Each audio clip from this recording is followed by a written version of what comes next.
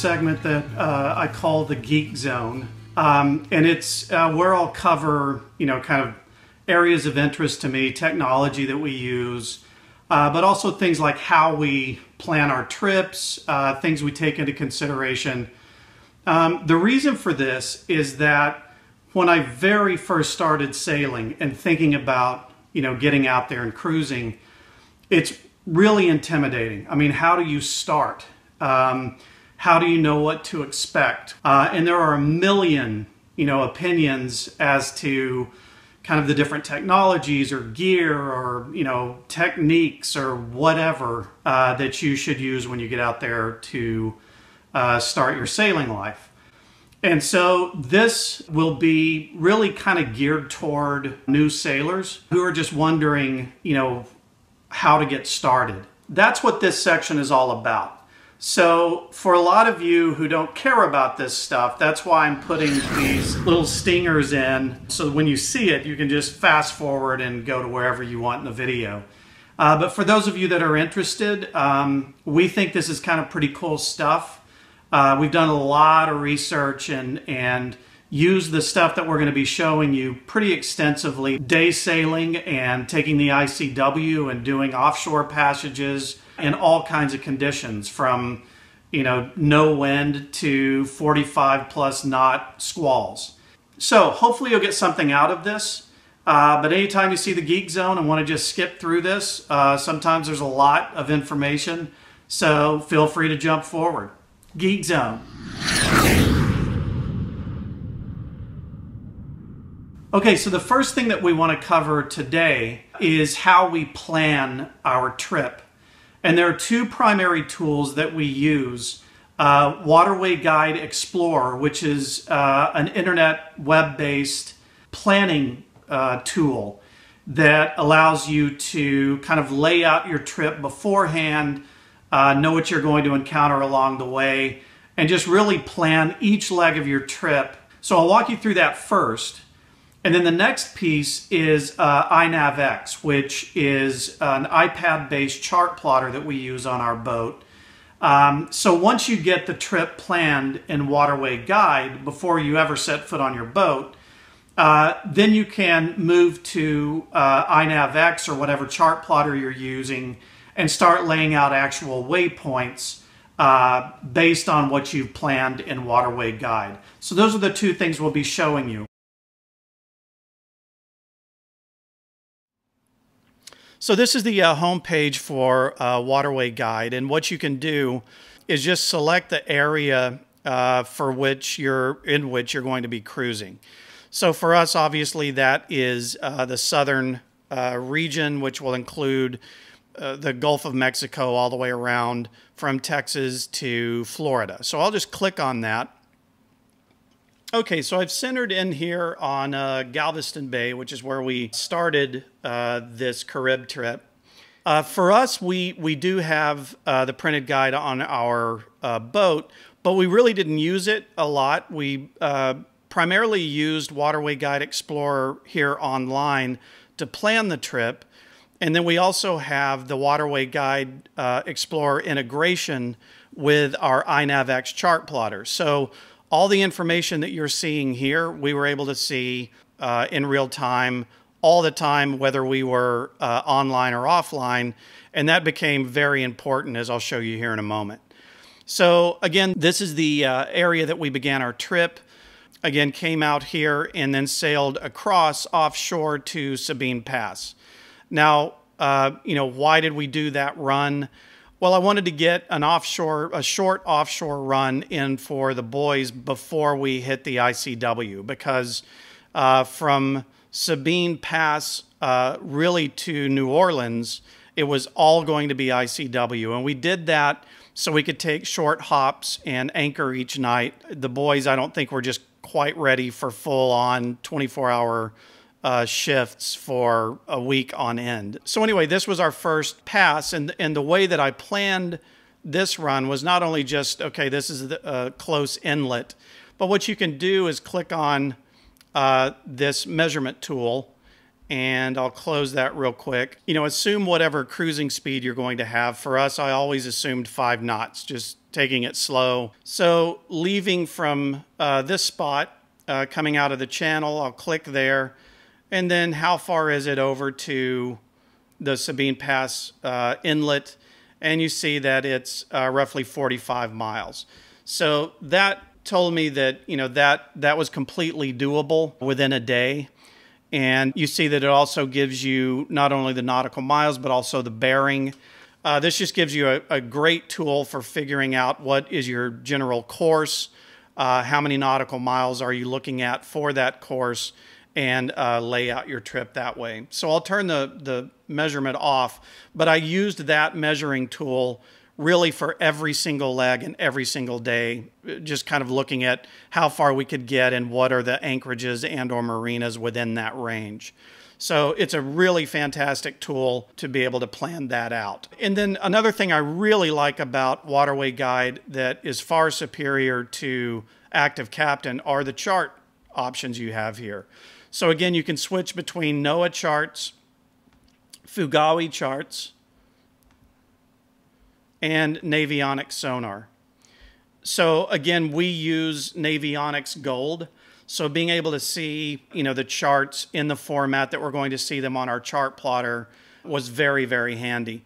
The way that I typically, the charts I typically used for, for general planning are the Fugawi, which is the uh, kind of standard chart uh, by default that you'll get when you come in. So anyway, that's that's just another big advantage for Waterway Guide. Now, as you remember, as we were coming in, uh, we started having our engine trouble here. And um, so as we were coming up the Sabine Inlet, I had initially planned, let me click on the uh, anchorage icons. I had initially planned to anchor here. And I'm going to zoom into this area, kind of show you what is shown on the charts.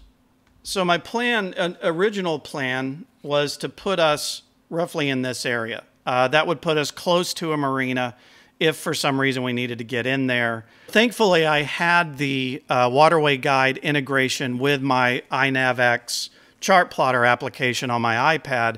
So all of this information that you're seeing, I had it on my charts.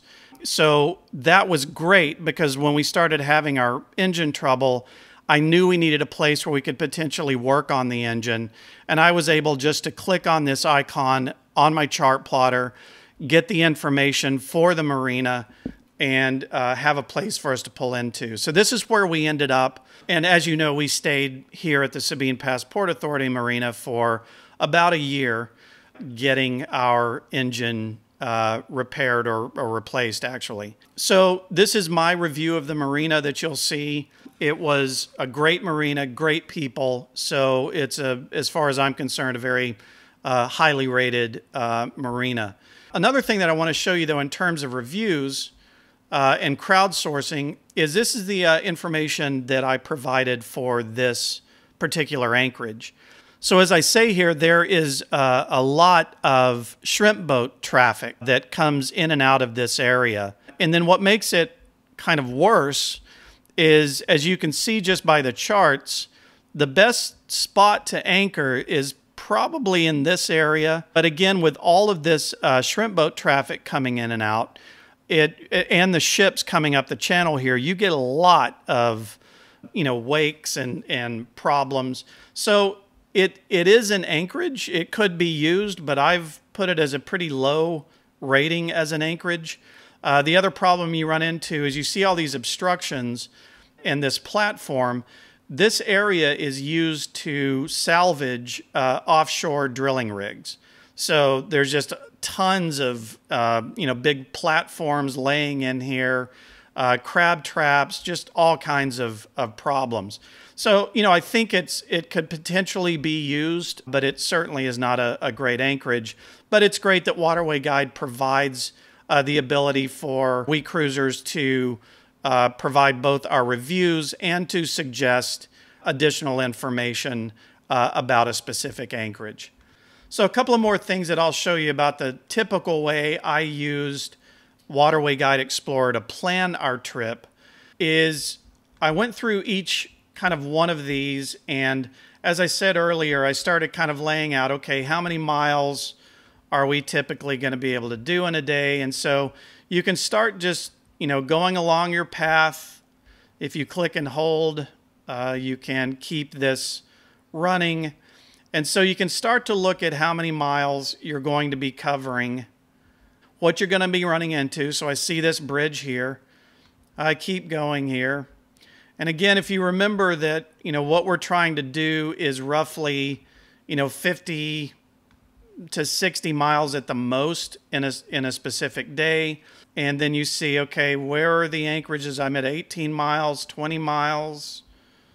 Okay, so I can keep going here, 22 miles. Let's keep going. Now we're up to roughly 25 miles. Okay, should I keep going? Yeah, I think I can probably keep us moving here. So we'll keep moving through this. So we're now up to 42 miles. So this is starting to get into a bit of a run. So now I need to start looking at, okay, what, what do I have in front of me here? I've got 45 miles.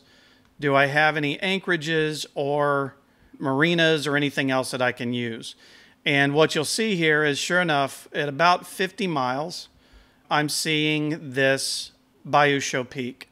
So now that we've finished planning each leg in Waterway Guide, we move to iNavX to start laying in actual waypoints. And this is how we do it. So this is the actual iPad that we use on the boat for a primary chart plotter. It's an iPad 2, so I can't output this video uh, direct. So I'm having to film it. So you see all this kind of crazy patterning. Uh, that's just because I'm uh, filming the screen. It obviously doesn't have this uh, crazy pattern when you're using it on the boat. Um, but this will do for now just to kind of give you a sense of how we use it. So we just talked through laying out every leg of the trip um, with Waterway Guide Explorer and so one of the things that allows for you to do is, is go ahead and, and lay out a float plan for specific distances and times and you know where you're going to be each night. Here is uh, the example of the float plan uh, we laid out showing that first anchorage at Bayou Choupique. Um, and so once we get that done in Waterway Guide and have everything planned, then we want to come into iNavX and start laying out the uh, same trip uh, here. So where I'm uh, zoomed into now is uh, near the Corpus Christi area, and I'll go ahead and come into Matagorda Bay. And you see as you zoom in, uh, your charts begin to update. Okay, so I've zoomed in a little bit here to show you how uh, you add waypoints in iNavX and how you start laying out your actual route, uh, the trip you're going to take.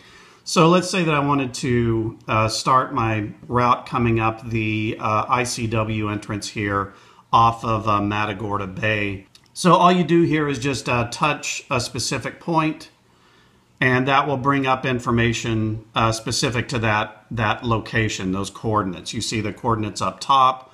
you see general information for range and bearing uh, and then all of this other info here. So if I click on the uh, icon here, what that will do is place a waypoint that you see here. And then if I come back and click on that waypoint, um, it will uh, allow me to drag it to wherever I want it. So I can move that around. So if I click again on that waypoint, that brings up this pop-up which allows me to edit it or add it to existing uh, routes that I already have. Um, or I could set a go-to point uh, for steering a specific heading. All of those options here. For now, I'll just hit edit. And uh, that brings up this window to allow me to put in notes, descriptions, um, whatever I want to do. For now, I'm going to rename it. Okay, so let's just say that what I want to do is, is name this to a specific leg. So maybe this is, uh, or day, we'll just do that, day uh, one. And then whatever other descriptor you want to give to it. So maybe this is uh, marker one. Um, so, you know, again, it's just whatever you feel you need to name it to kind of keep track of what's going on. Um, and so this is how you do that. Hit done. And now you see the marker uh, has the new title.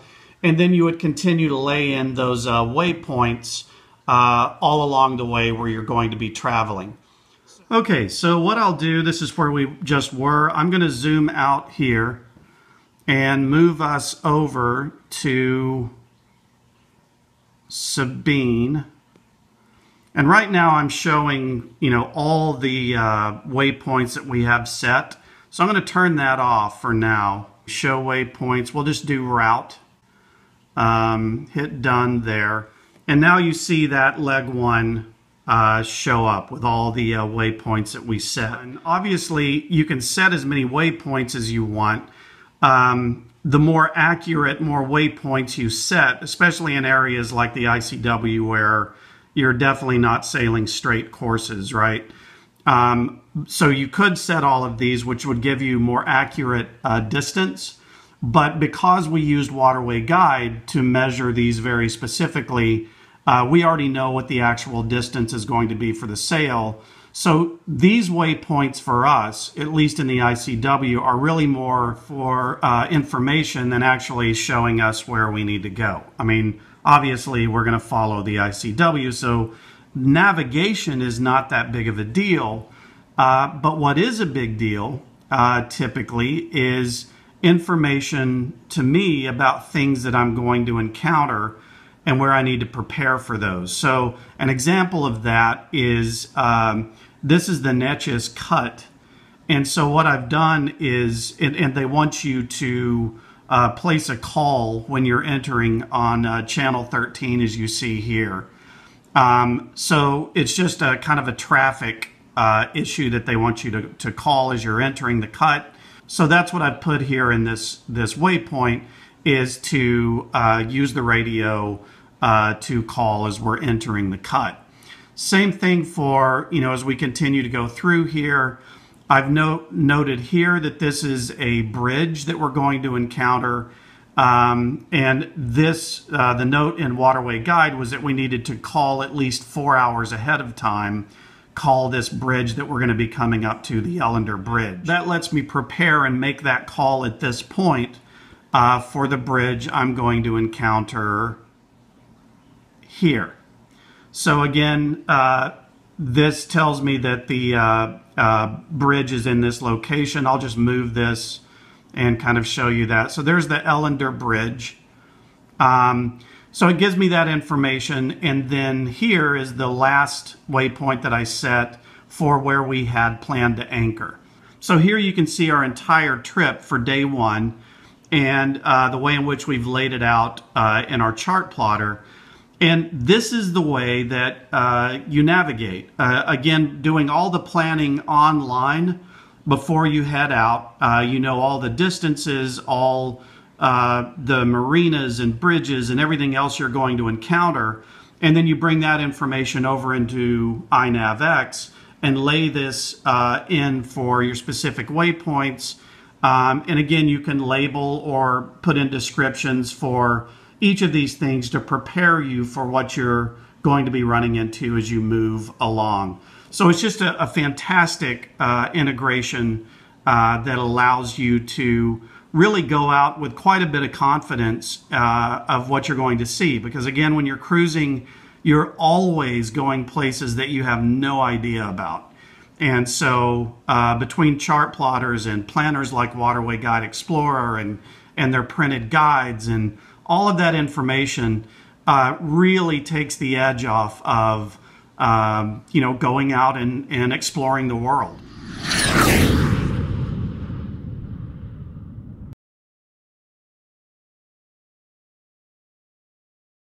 Hit the like and the subscribe button. Don't forget to smash that subscribe button. Smash that like button in the face. Yeah, I'll make that next video if we get 10,000 likes.